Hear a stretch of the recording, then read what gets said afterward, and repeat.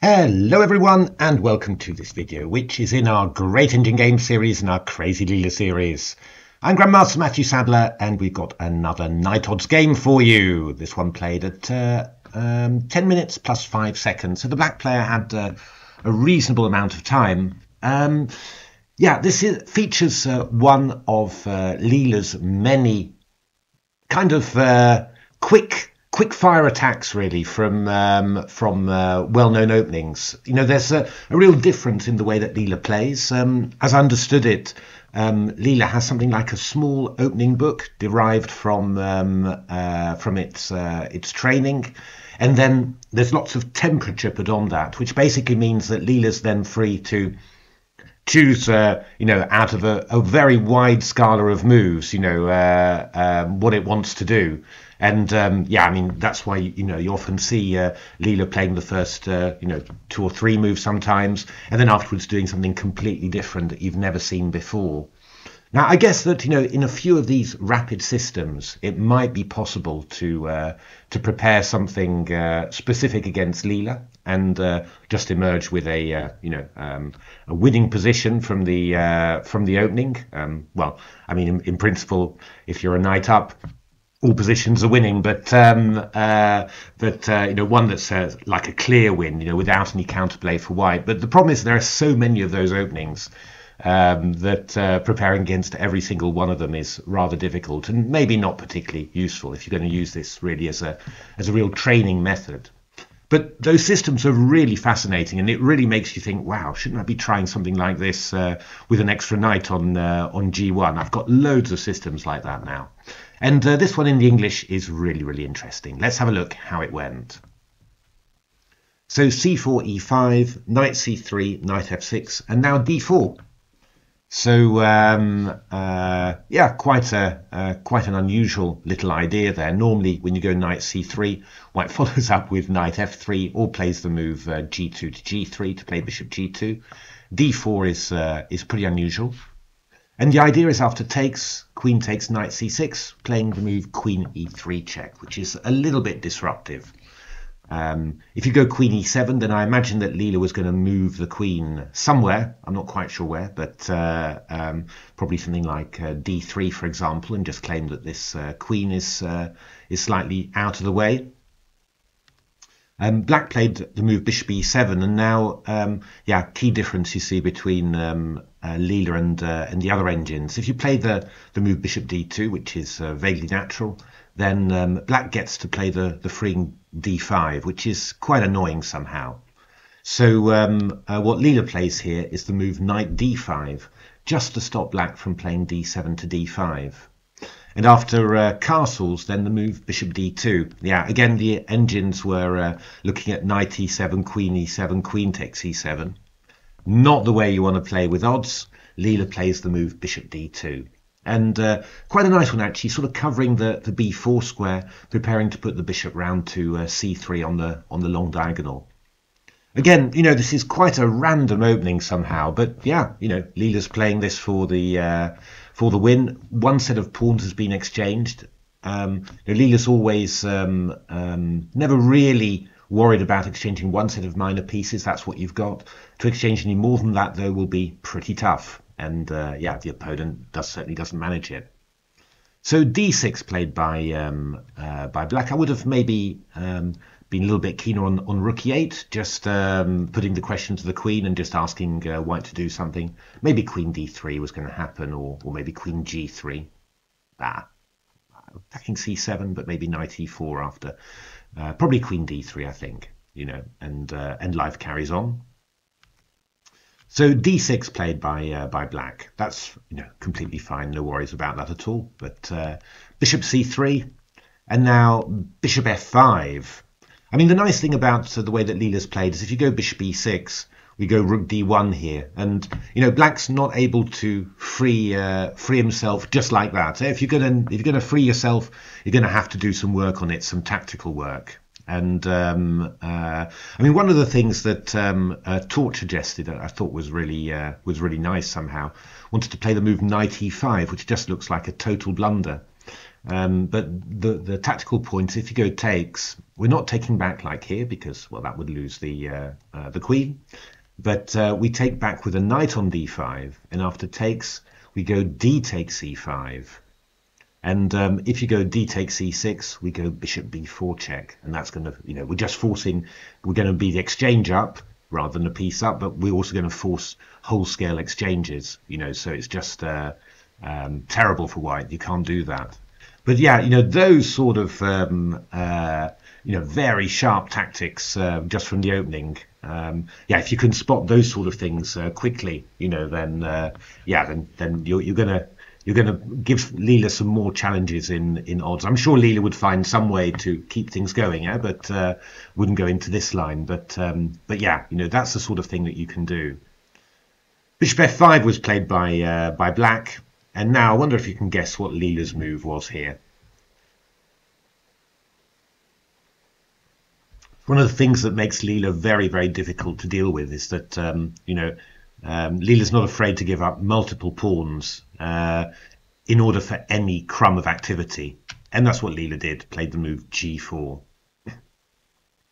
So black refused that. I'm not surprised, to be honest. I mean, um, after knight g4, presumably something like queen f4, and knight e7 was again recommended by the ancients, but yeah, not what Leela would do, I think you know, and yeah, you've just got rook g1, and it's it's not um, you're not mating or or anything like that. But I mean, you're simply, you know, there's simply danger and the g file, and uh, more for a, a, human player to uh, to deal with and to cope with. You know, and uh, and that's just you know very very tough. So bishop g6 uh, was played by black, quite sensible, and now h4. And uh, that's the other thing that you notice about um, about Leela. You know, Leela's just pretty relentless. You know, it just uh, keeps on going, keeps on coming forward, keeps on sharpening the play all the time. And it's very hard to, to deal with this. I mean, this is ten minutes plus five for uh, for this opponent, but yeah, you know, it's um, uh, there's a lot of threats happening and a lot of um, uh, a lot of things you need to consider. And I think what you're really noticing a lot as well is that um, you know human players are often being pushed into non-standard things eh, that you that you, you can work out, but that you really need some time and some you know some uh, some effort to uh, to see because there's lots of little hidden tactics that you have to navigate all the time.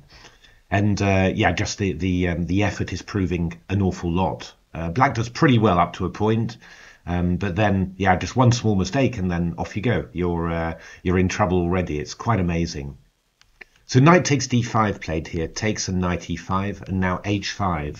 So yeah, I mean, just in 12 moves of an English with a piece down already, you know, there's there's like danger everywhere here, right? Um, so Black played something very interesting actually. Um, not bad at all, um, but super sharp and maybe asking a little bit too much of you know of uh, of himself somehow. I think. Um, actually, Black could play the move Bishop C2 because it's hard to get that um, that bishop on C2. Rook C1, which you you might sort of think, well, yeah, you know, what am I doing with this bishop? Actually fails to the rather gorgeous Bishop G5. F4, and now maybe you want to guess the uh, the correct move here. Pretty gorgeous one, I have to say. It's the move knight d3 check.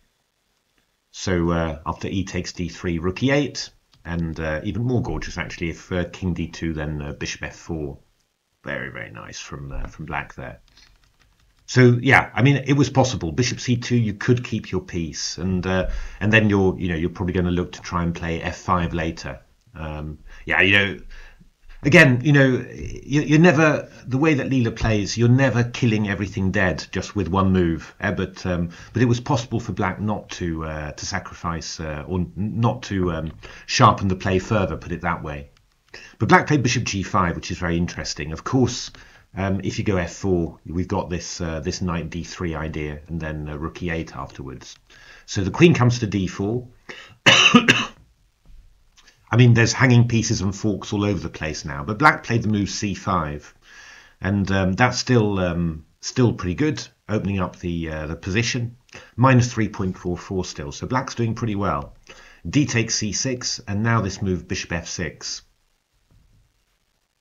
And um, yeah, it's quite um, it's all quite uh, quite tricky somehow. I mean, you're kind of willing to give back this piece at some stage, but just to try and get lots and lots of activity. For example, if the queen comes to f4, then queen e7 threatens knight d3 check.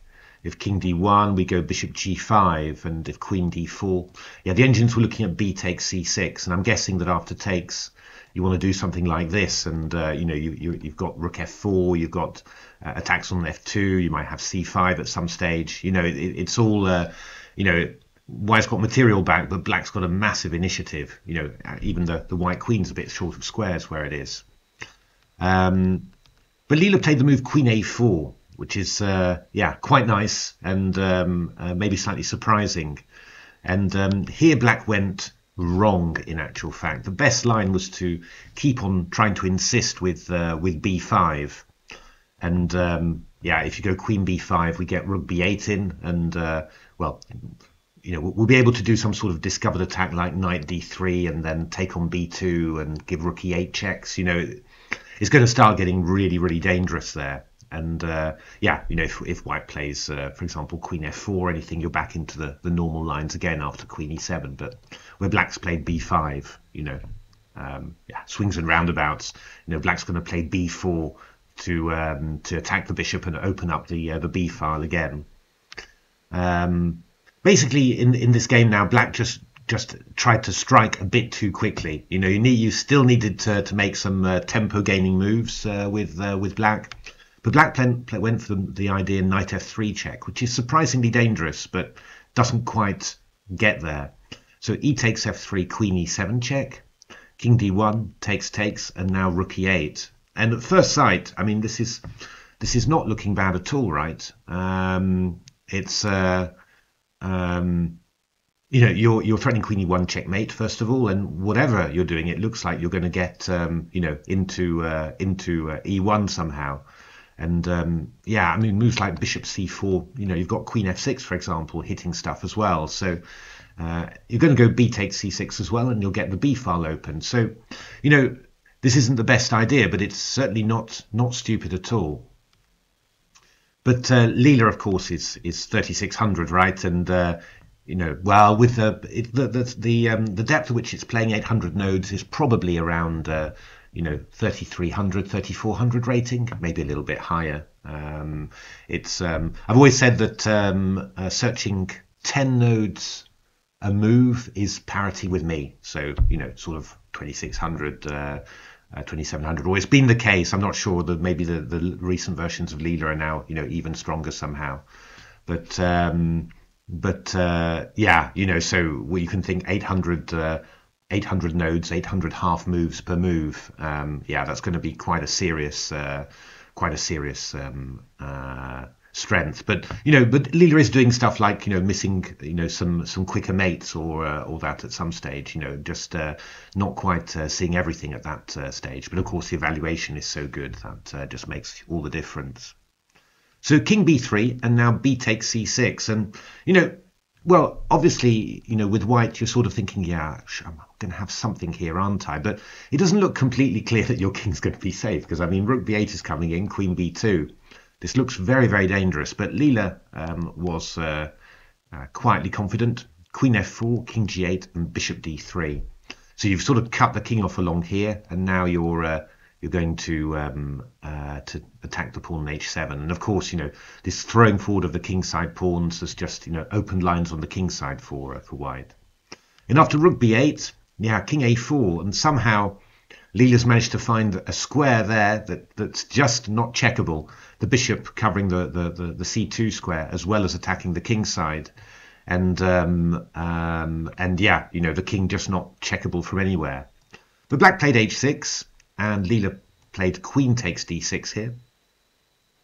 And black played queen takes f3, which um, you know doesn't look uh, doesn't look so bad. Um, trying to get a little bit closer, and yeah, taking away the uh, the f3 pawn means that you get to uh, to e4 as well. But Leela finished off with bishop c4, and um, after the move king h8, the very simple rook takes h6 was uh, sufficient because if uh, g takes h6, then queen takes h6, checkmate. Really um, lovely game i thought. You know very good uh, example of uh, what you you know one of the things that you face with um, with Leela you know which is these uh, very quick um, uh, attacks from the opening um, that's one of the ways that Leela plays this odd chess, and then you've just got to try and react. And uh, you know, Leela's just finding all these unusual methods of development and all sorts of methods of development where you don't just get to clarify simply. You know, you always have to do some work to get your pieces developed and try and you know shake the structure that uh, that Leela's put together. Um, and to be honest, I mean, some of these things, uh, you know, could prove really interesting. I think with an extra knight on G1, you know, it's uh, so that's very, very, you know, interesting to see. The big problem is that you could, you know, conceivably prepare a couple of these, you know, but um, uh, the problem is that you know Leela's going to come up with uh, another twenty, uh, you know, uh, similar but not quite the same, you know, and yeah, I don't think it's really um, really worth the effort to uh, to do that. I think it's much better just to try and uh, improve uh, your play uh, against uh, odds Leela and just be able to uh, to do it in every single position. I think that's the the goal, and that's the real training value of of playing games against Leela at odds like this.